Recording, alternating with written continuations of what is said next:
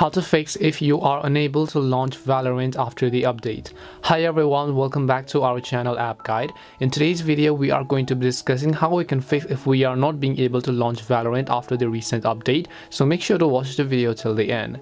So let's say you updated your Valorant game right and now you're not being able to launch it. There are a couple of ways you can fix this. The very first thing you have to do is from your taskbar right over here, just right click and then choose the option called task manager as you could clearly see. Once you open up Task Manager, just make sure to end any Valorant, Riot Games or Riot client processes running in the background.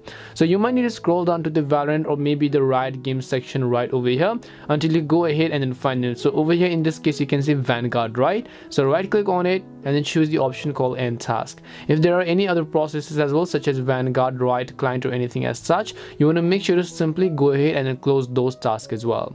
Now if this doesn't help, what you want to do is you want to make sure to update your network adapters. So just go ahead and launch the device manager app on your PC. So once you go ahead and then simply launch the device manager application, you want to head over to your display adapters section over here. Once you head over to display adapters, make sure that you're using the NVIDIA one and then right click on it and choose the option called update drivers. Now, if you are using an NVIDIA graphics card, then in that case, you have this application called GeForce by default, right? So just go ahead and open the GeForce experience application. In case you don't have it, uh, make sure to drop a link below as well.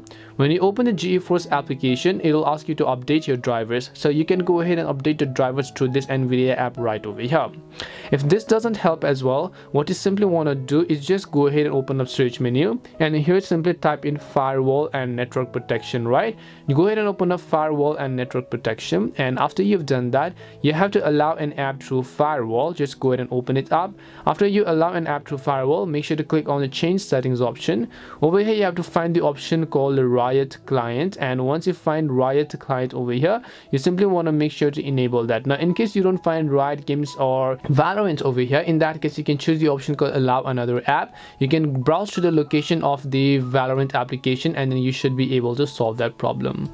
Now, if this doesn't help, there is only one thing that I can actually recommend you do and that is that you just go ahead and then simply type in Valorant in the search menu. Once you type in Valorant, right click on it and then choose the option called open file location. And then again what you want to do is right click and then again select open file location right? Over here you'll come to this page where you have to navigate to Riot Games over here. And then go to Valorant. Go to live shooter game binaries win64 scroll down and then you'll find the option that says Valorant Win64 shipping. Right click on it and then just go to show more options.